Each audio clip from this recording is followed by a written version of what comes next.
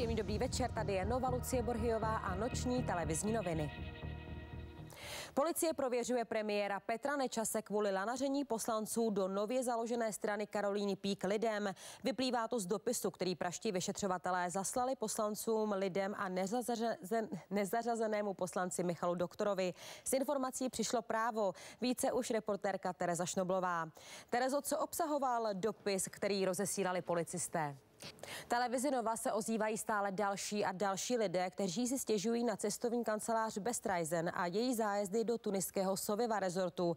Čeští turisté tam končí ve špinavých pokojích, které připomínají spíše věznici než slibovaný luxusní hotel. Náklad řidiči na silnicích nevidí každý den. Na cestu z Prahy do Ostravy se dnes v noci vydal bojový letoun MiG-21. Už včera ho technici složitě nakládali ve výzkumném a zkušebním leteckém ústavu v Praze. Je to vůbec poprvé, co kamion převážel podobně velké letadlo v celku, a to včetně křídel. A před námi je teď další přehled zpráv z domova a ze světa ve zkratce.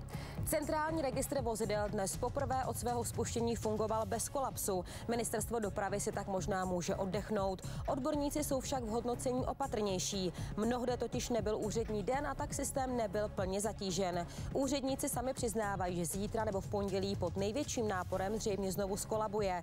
Ministru dopravy Pavlu Dobešovi se krátí čas. Jestli bude mít registr zítra opět problémy, musí se z vlády odporoučit. Řidič, který zavinil nejhorší letošní eh, dopravní nehodu v Libereckém kraji, byl silně opilý pod vlivem drog a jel moc rychle. To je výsledek vyšetřování květnové tragédie u Hrádku nad Nisou. Nehodu tehdy nepřežili čtyři mladí lidé. Pátý spolujezdec je stále v kritickém stavu. Nikdo z nich neměl bezpečnostní pás. Když vůz vylétl ze silnice, tachometr se zastavil na 130 km v hodině.